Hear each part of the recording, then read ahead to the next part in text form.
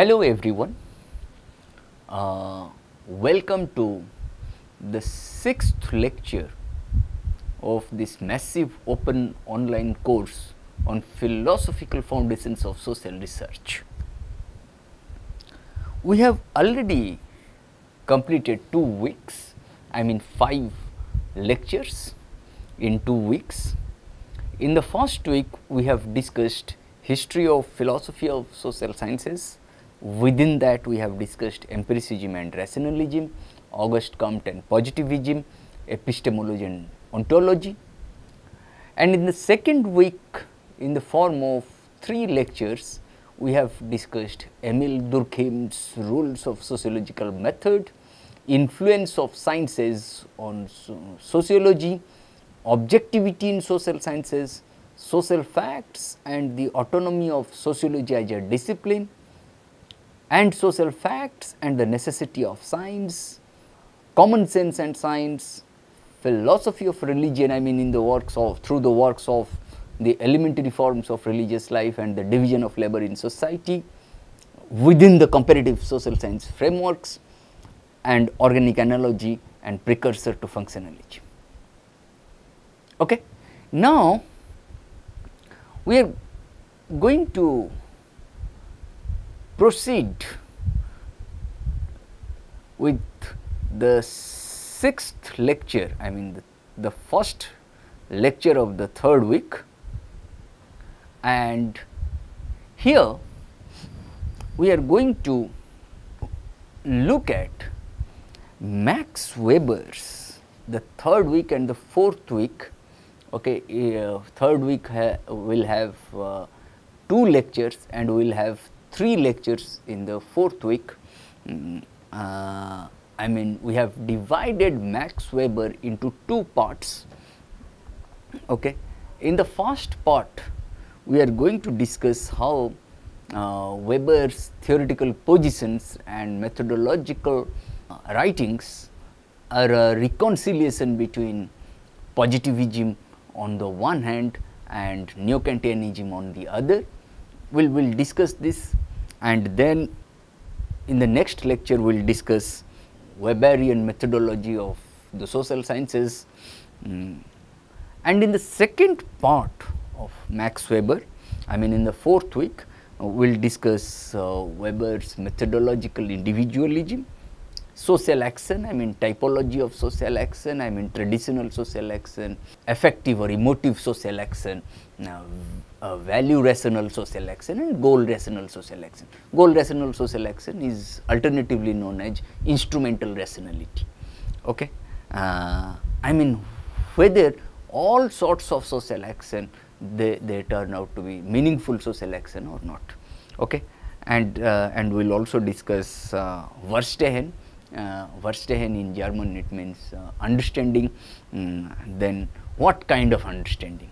Interpretative understanding of social action uh, and which consists of uh, uh, two parts hmm, direct understanding and indirect understanding. Direct understanding is alternatively known as observational understanding and indirect understanding is alternatively known as explanatory understanding and then we will discuss ideal types and so on.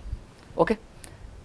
Then, then in, the, in this case we will start with Max Weber's theoretical positions and methodological writings, how there are reconciliation between, between positivism on the one hand and neo-Kantianism on the other. Okay, we will see. Weber contributed heavily to the development of substantive sociological theory and in the uh, and to and to the debate on methodology. Okay. Weber's theoretical positions and methodological writings are if are, are usually characterized as affecting um, a reconciliation between positivism and neo-Kantianism. Okay. Though Weber's positions were not of course entirely consistent throughout his life, it is possible to say that in general he rejected the view attributable to some neo-Kantians of course, though not Rickert we, we can uh, if, if some questions arise then we can uh, address this uh, okay? That the cultural sciences are exclusively concerned with the uh, uniqueness of their objects of study and the category of causality is inapplicable in them. Okay? Now we'll we'll also discuss a third criteria uh, i mean third uh, area of interest for uh, weber that is idealizations in the cultural sciences okay? But let us first start with how Max Weber's theoretical positions and methodological writings are usually characterized uh, as affecting a reconciliation between positivism and neo-Kantianism. We have already discussed positivism. Positivism is, is uh, nothing but supremacy of science over of the science over non-sciences. If you slightly recall, we have discussed Comte's law of three stages, theological stage, metaphysical stage and positivistic stage. Okay. We have also discussed there are certain sub stages within uh, theological stage, fetishism, polytheism, mon monotheism and but the objective of the of today's lecture is not that. The objective of the today's lecture lies in the fact how positivism as well as neo-Kantianism they influenced Weber's theoretical positions and methodological writings. Then, then if you slightly go back a little then we have discussed how positivism became a dominant school of thought in the 20th century, which suggests supremacy of science over non-sciences. How positivists, I mean the proponents of positivism, they stood squarely against uh, theological as well as metaphysical, uh, metaphysical explanations of reality when I say this, I mean there are different characteristics of positivism. We have already discussed this. I'll I'll uh, I'll reflect on this uh, very quickly because we have already discussed this in the earlier lectures. We have how, what we have discussed then? We have discussed positivism in terms of certain characteristics what are those characteristics? What are those features? What are those central tenets of positivism? Now, first methodological that science is distinct from all areas of human activity and creativity because it possesses a method unique to it that is methodological.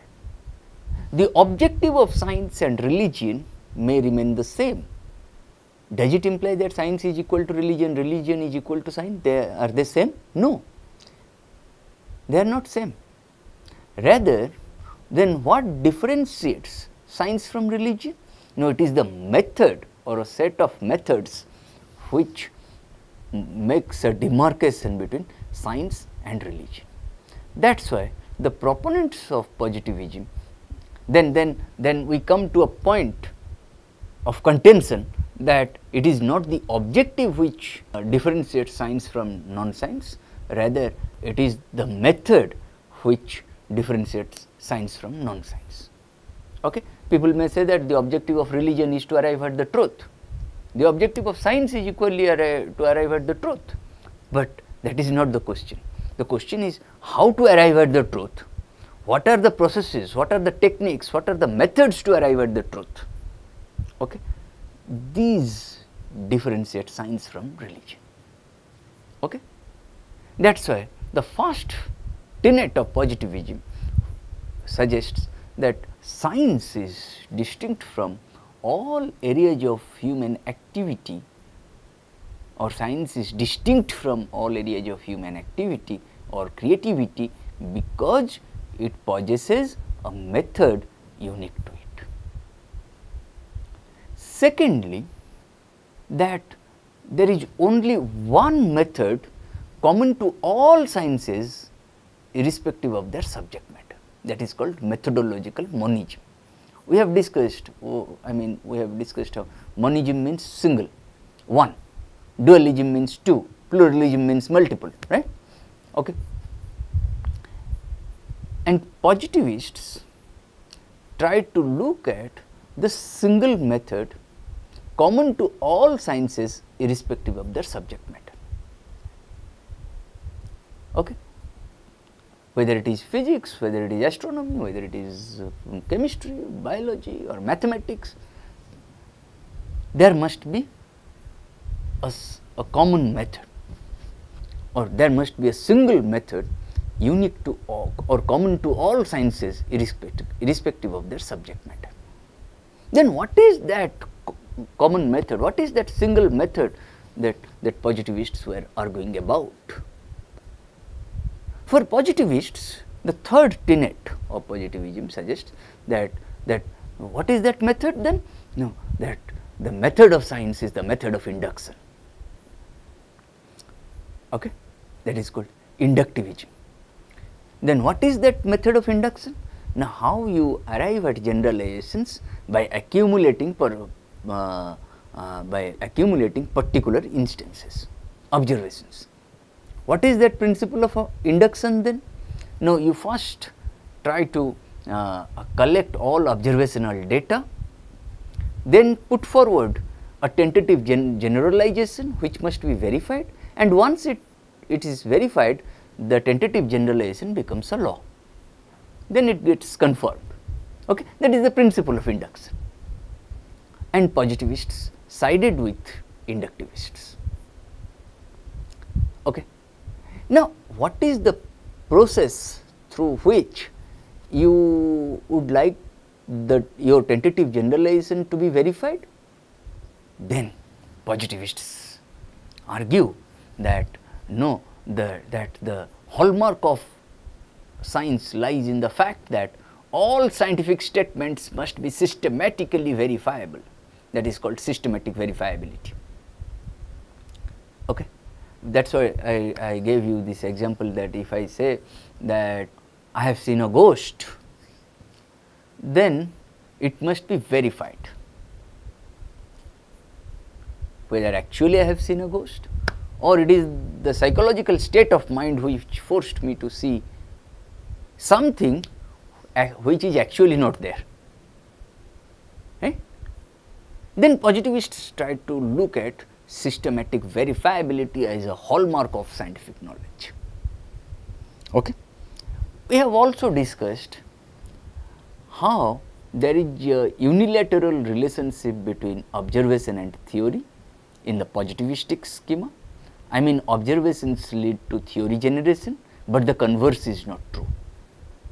Observations that we make are independent of theoretical commitment.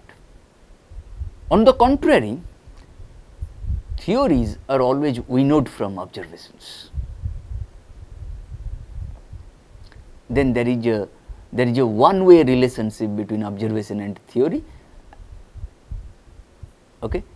In other words, observe, uh, theories are observations dependent, whereas observations are theory independent. Okay. In the positivistic scheme and that also influenced Weber, no doubt about it. And then we also have discussed how positivists looked at the dichotomy between fact and value. If I say this is a table, this is a fact, if I say this table looks beautiful, then I add value to it. Science as the paradigmatic uh, or as the paragon of, of knowledge production does not believe in values because it may look beautiful to me, it may not look beautiful to somebody else, then this is not fact. Then positivists looked at not simply nat naturalism or natural sciences, scientism which is reduced to a, uh, I mean which refers to uh, the fact that everything is reduced to science, everything is reduced to uh, natural sciences, but positivists also looked at facticity being attributed to science. Okay? That is why for positivists facts are always value neutral, whereas values do not have any factual content. In other words, science always believes in facts and on the contrary science does not have any value commitments for positivists. As I said the inductivists start with collecting observational data without recourse to any theoretical commitment, positivists also start with, with observations or, or a set of observations. But there positivists take a different turn and they suggest that no from observations you tend to have at least two premises to confirm your statement okay, that from observations you come to a set of laws premise number 1. Premise number 2 is a set of statements describing the initial conditions and your conclusion is a set of statements describing the phenomenon to be explained. Okay. From two premises you are going to provide an explanation, but it must always start with observations, a set of laws, a, a set of statements describing the initial conditions which will lead you to a set of statements describing uh, the phenomenon to be explained. We have discussed this.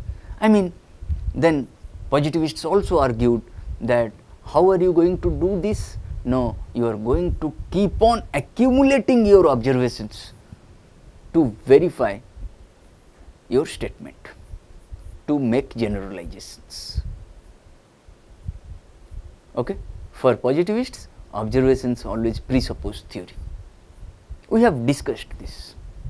Now, there is another viewpoint which we have also discussed rationalism, uh, uh, um, uh, I mean empiricism, uh, uh, posit rationalism, positivism and so on.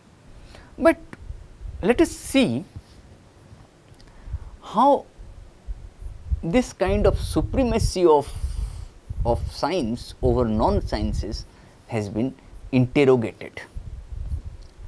It, it was interrogated initially by Kant, Immanuel Kant, critic of pure reason that, that, that there cannot be anything called pure reason, there cannot be anything called reason in its purest form. Okay? Whatever reason, whatever experience that we tend to see, uh, these are always constructed. That is why the followers of Kant, Rickert and others, basically they are called uh, neo-Kantians, their viewpoint is this that our knowledge of the world is constructive knowledge, is always constructed and hence subject to, to selection and interpretation. These are these three are important. Our knowledge of the social world is constructed which involves uh, selection and interpretation of multiple data systems. Okay.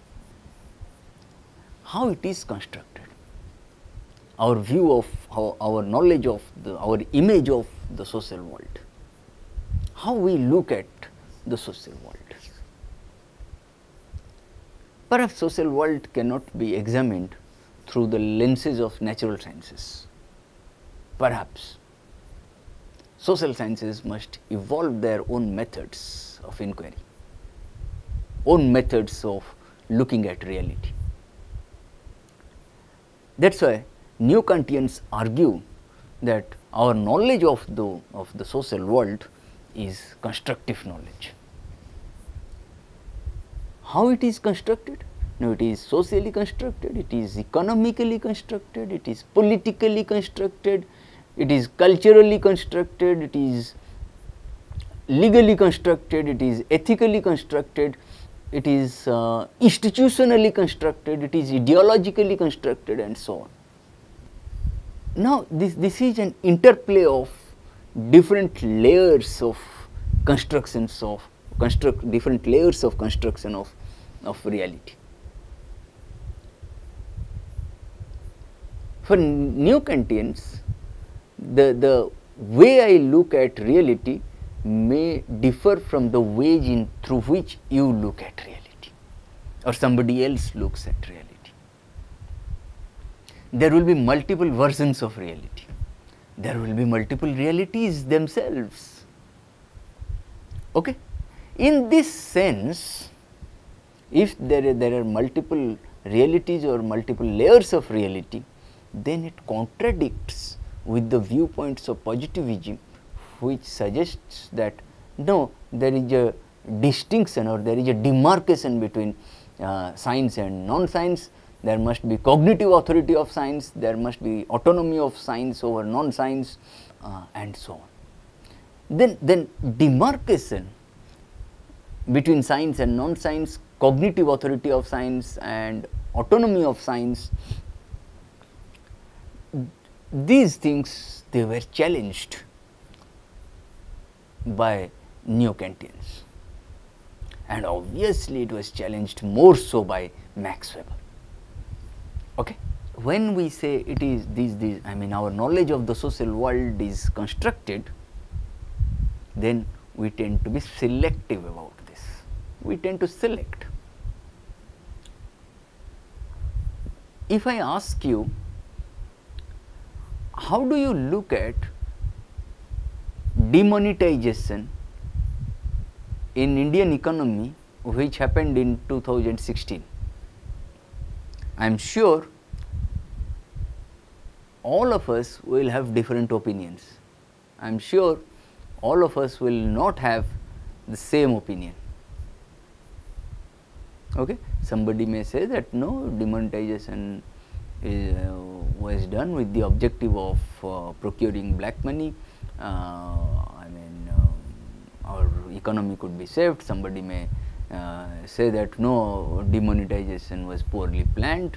Uh, in fact, the government tried to convert all black money into white money. There are different opinions. Okay, that's why you tend to select. Okay, from various perspectives at hand. That's why I told you what is a perspective. Now, a perspective refers to a set of symbols which represent, which are representative in character. A perspective refers to a set of symbols which human beings use to select from all potentially observable aspects of nature. When I say nature, it includes both natural as well as social uh, phenomena.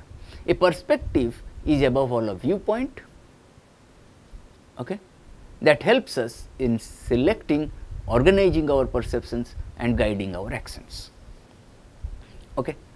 That is why selection is very important. And once you select from the on the basis of your perspective, on the basis of your positionality, then then you tend to interpret it from the vantage point of your positionality as well. Our interpretations are not same. We tend to interpret differently.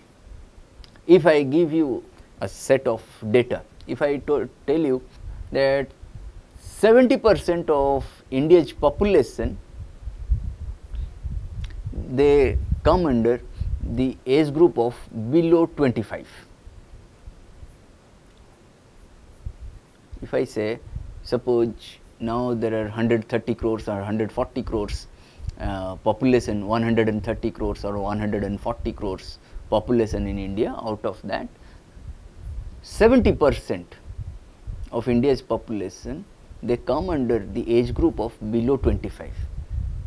Then I obviously come under mm, the age group of below 25 uh, above 25 okay then I belong to that 30 percent group okay But if I see, say this, this particular set of data, information, if I do this, then what does it, how, how can interpretations be made? How are you going to interpret this piece of datum? That 70 percent of India's population come under the age group of below 25. Then somebody may say that yes, the nation is very young, then we have to groom this nation, we have to nurture this nation, we have to direct this nation in a proper manner. Okay? Our human, we have a huge human resource then. Another interpretation would be, and only 30 percent of the population in India belong to the age group of above 25 then, okay. Then we have poor medical facilities, our healthcare system is poor, okay. I mean our life expectancy rate is low then, okay. The, the same set of the same piece of datum may elicit different kinds of responses, okay. That why different kinds of responses? No, precisely because our image of, of that piece of datum, our knowledge of that piece of datum is determined by some kind of a perspective, some kind of uh, a positionality, some kind of an ideology. Okay? That is why I said our knowledge of the social world is constructed. Which involves selection and interpretation. Now, you will find in the context of neo-Kantianism that, that the entire structural edifice of positivism was challenged, that uh, nothing is absolute, nothing is absolutely objective, nothing is neutral. Okay. Now, how you interpret that is why uh, if, if you are familiar with Michel Foucault, okay, Foucault said, uh, Foucault talked about interpretation of interpretations. Okay. Uh, let me give you an example how Michel Foucault tried to look at interpretation. Of course, it is not a part of this, but such examples will definitely help you probe into the philosophical foundations of social research how we tend to constitute or how we tend to form concepts. How are concepts formulated? What are concepts? Concepts are shorthand descriptions of reality or a part of reality. If when our when our real world phenomena change, our concepts are also bound to change. With changing real world phenomena, we tend to arrive at newer and newer concepts. If our real world phenomena are not static, then our concepts will also not be static. Our concept, concepts will undergo transformation. Let me give you an example from the order of things by Michel Foucault. Foucault said Foucault talked about madness in, in the order of things. I mean, he was referring to how madness, the concept of mad, the term madness has undergone changes. He divided the historical epochs into three parts. Okay. One, Renaissance, second, Reformation, third, Enlightenment. In the phase of Renaissance, madness was considered a divine creation. That is why people very often used to say no that uh, if somebody is not behaving properly or so then maybe some ghost or witch has gone into his or her body. Okay? Madness was considered a divine creation in the phase of Renaissance. But when the mode of production changed, our intellectual and political consciousness changed, then we encountered reformation okay? And in the in the age of reformation madness was regarded as a criminal threat. That is why you will find that people may say that if somebody is mad, no, uh, no, no, that fellow is trying to kill me, that fellow, I mean, madness uh, earlier was considered a divine creation and in the age of reformation it was considered uh, a criminal trait. And in the age of enlightenment, the third phase, I mean the world had already witnessed modernity, industrial revolution, critical thinking, uh, rationality, reasoning capacity, okay, uh, questioning the dominance of uh, God, religion, priests and so on. Okay. The entire phase of enlightenment okay, uh, okay, questioned such delineation of, of madness, such conceptualization of madness. Madness was considered a medical condition in the age of enlightenment. That is why whatever mental hospitals that you will find, they all were created in the post enlightenment phase. Because earlier it was never considered a medical condition madness was never considered a medical condition, but today we always say madness is always a medical condition. It is not a divine creation or a, or a criminal threat. Okay. Uh, of course, in, in, in, in some, some societies we see this, but this is illegal, this is unethical to say that madness is a divine creation or a criminal threat, rather it is only a medical condition. Okay. This is very important. Okay. That is how concepts undergo change uh, concepts undergo transformation with the change in the modes of production. We also tend to change our intellectual and political consciousness and with the change in intellectual and political consciousness, we tend to uh, tend to change our concepts, we tend to change our frameworks, we tend to change our methods and so on. Okay. Okay. That is why we have we have clearly discussed that how our knowledge of the social world is constructive knowledge which involves selection and interpretation. Okay? This is important. Okay? Now, if we have to uh, recapitulate very quickly what we have discussed till now, we have discussed how how Weber contributed heavily to the development of substantive sociological theory and and to to the debate on methodology uh, and Weber's theoretical positions and methodological writings are usually uh, uh, characterized as affecting a reconciliation between um, positivist and neo-Kantianist positions. Uh, though Weber's positivists and neo-Kantianist positions, though Weber's um, positions were not of course entirely consistent with throughout his life. Uh, it is possible to say that uh, in general he rejected uh, the view attributable to some neo-Kantians of course not Rickert Uh, uh, that the cultural sciences are exclusively concerned with the uniqueness of their objects of study and that the category of causality is inapplicable in them.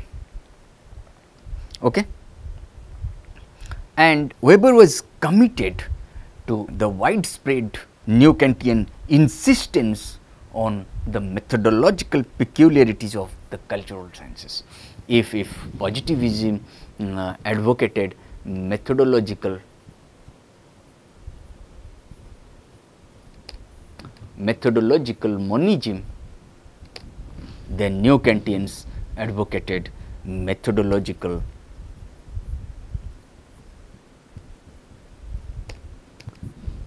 Dualism or methodological peculiarities.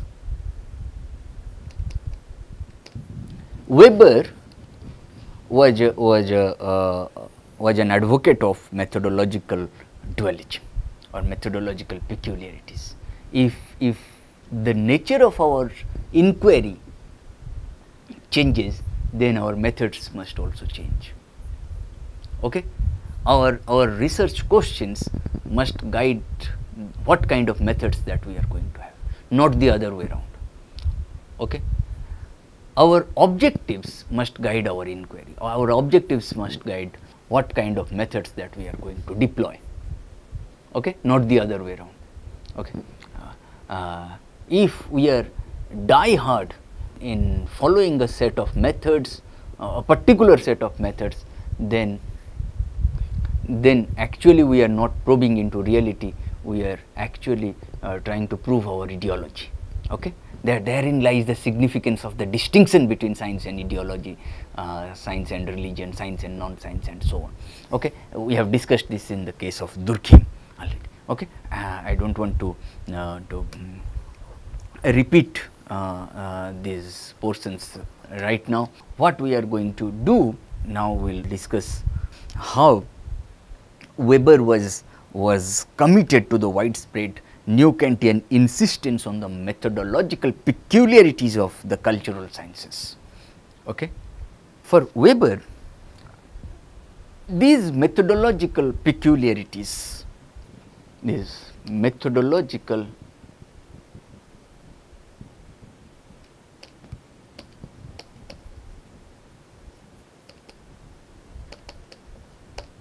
peculiarities okay, um, center on the two related concepts. What are those two related concepts? Now, one is value relevance and secondly interpretative understanding. These cultural sciences. The cultural sciences differ from natural sciences in the distinctive role of valuations in the formation of the concepts and in the distinctive type of knowledge involved in them. A third area of methodological differences was thought by Weber to be the use of idealizations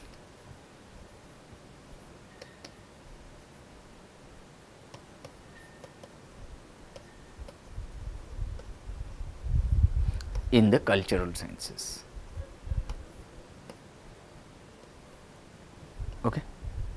Idealizations in the cultural science. We will we'll discuss this.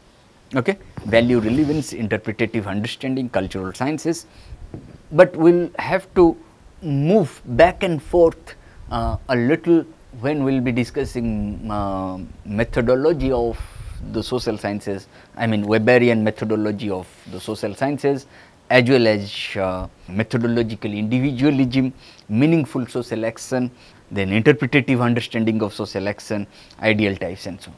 I mean we will we'll do that back and forth business.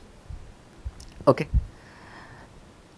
When I said when when when Weber uh, pointed out that that um, there are the, these methodological peculiarities center on two related concepts of value relevance and interpretative understanding that, that cultural sciences must differ from, from natural sciences in the distinctive role of valuations okay, uh, in the formation of the concepts and, and in the distinctive type of knowledge. Okay. This problem that how cultural sciences must be different from natural sciences that this problem obviously has exactly the same logical structure as the problem of historical causality. Okay for, for Weber knowledge if positivists suggested that no uh, knowledge has to be uh, has to be grounded through logic okay? Science must be based on logic okay? Uh, for Weber uh, science or knowledge uh, or even even in knowledge in, in humanities and social sciences okay? In social science research knowledge must be grounded not simply through logic, but also historically. It is also historically determined what kind of knowledge that we have today. Okay? For, for just like history, the problems of practical social relationships of human beings uh, uh, and especially of the legal system okay, for Weber are anthropocentrically oriented.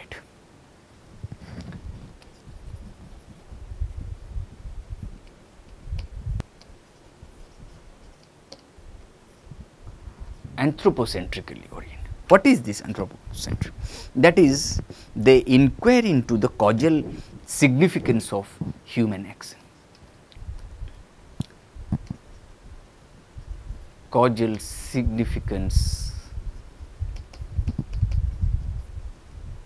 of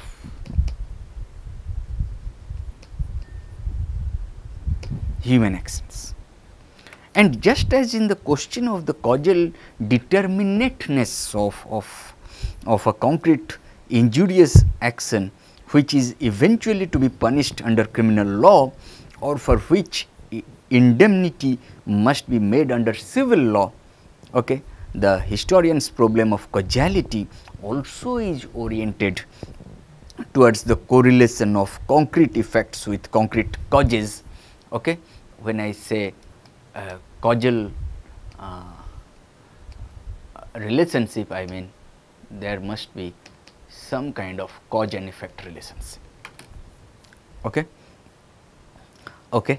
Then, then uh, just as the question of the causal determinateness of a concrete injurious action which is eventually to be punished under criminal law or for which indemnity must be under indemnity um, must be made under civil law, the historian's problem of causality also is oriented towards the correlation of concrete efforts, uh, I mean uh, correlation of concrete uh, efforts with concrete causes and not towards establishment of uh, abstract uniformities.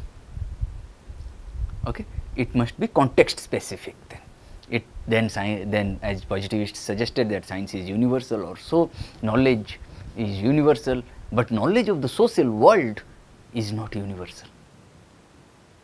Okay? It is context specific. Our human action, social action, individual social action is also context specific. Jurisprudence and particularly criminal law, okay, however, leaves the area of problems shared with history for a problem which is specific to it okay, in consequence of the emergence of the further problem. Okay. That is why I said a distinctive role of valuations in the formation of the concepts. Now, what is that? Now, if and when the objective purely causal imputation of an effect to the to the action of an individual also suffices to define the actions of one involving his own subjective guilt. Therein lies, lies the distinction between objectivity and subjectivity.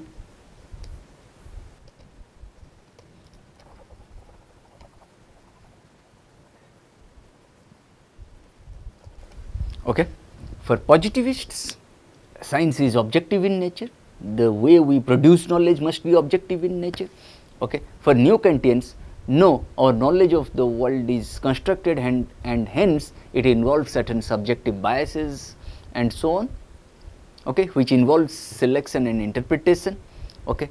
And Weber tried to try to mediate the two between positivism and neo-Kantianism. In other words, Weber tried always tried to mediate the mediate between objectivity and subjectivity in, so, in, in social sciences.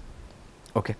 For this question is no longer a purely uh, causal one soluble by the simple establishing of facts which are objectively discoverable by perception and causal interpretation. Rather, is it a problem of criminal policy oriented towards ethical or other values? For it is a priori possible prior to experience, prior to empiricism possible, actually frequent and regularly uh, the case today that the meaning of legal norms explicitly stated or elicited by interpretation okay, inclines to the view of view that the existence of the guilt in the sense of the applicable law should depend primarily on certain subjective facts in regard to the agent, such as intent, subjectively conditioned capacity of foresight into the effects and so on. And under, under these circumstances, the import of the logically distinctive characteristics of pure causal explanation will be considerably modified.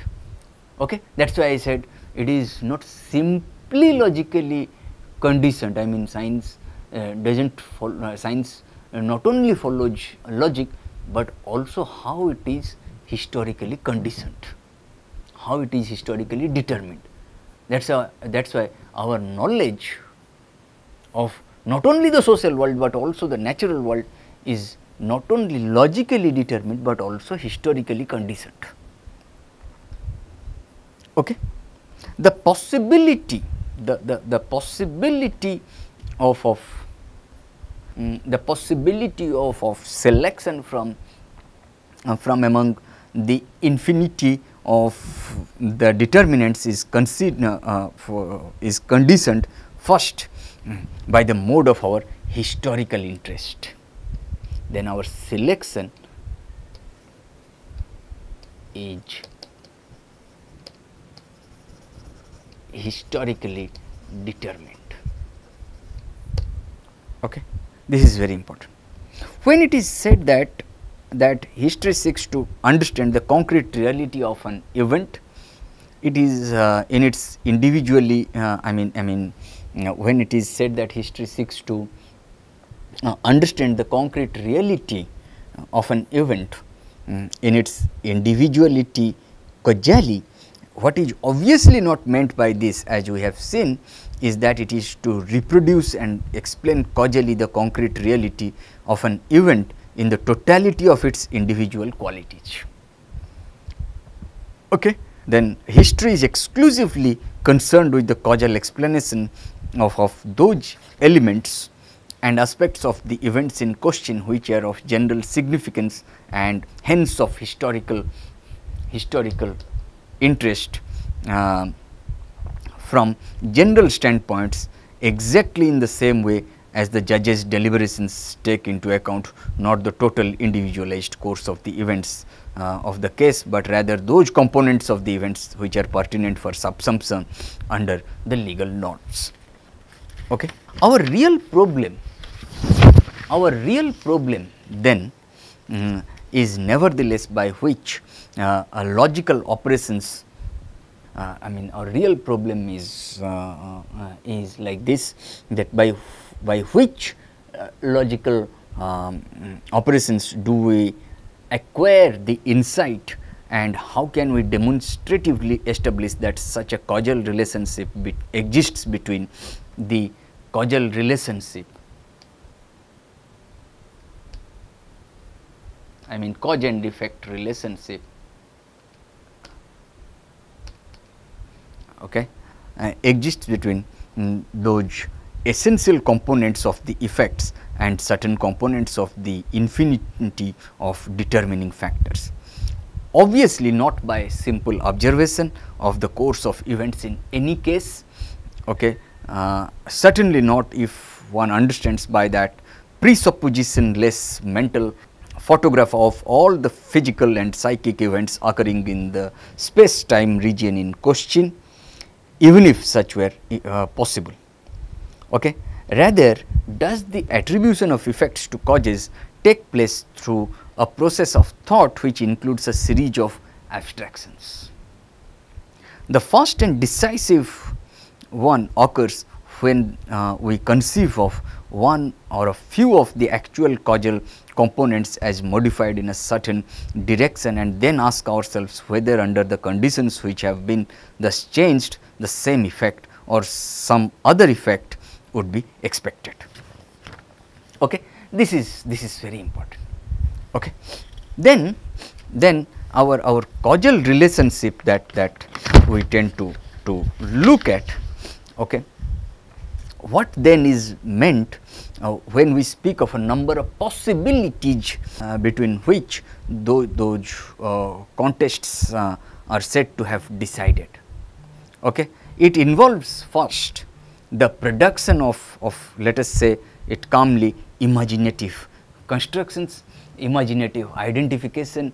Now, we will we'll discuss imaginative uh, identification, imaginative constructs uh, in the in the fourth week but we are we are more interested in in, in the uh, now now moving away from moving away from Weberian position of reconciliation between positivist and neo-Kantian positions to to the methodology of social sciences precisely because of such judgments so, uh, about possibility and uh, that Weber did not or Weber never subscribed to any of these views, uh, any of the views between positivism and neo-Kantianism rather he tried to mediate the two. You will find uh, at times he was referring to uh, objectivity in social sciences and sometimes he was referring to no even this objectivity is subject to uh, multiple interpretations. Okay. This is extremely important to understand Weber's uh, value neutral approach towards social sciences on the one hand and value laden approaches to social sciences on the other. Thank you.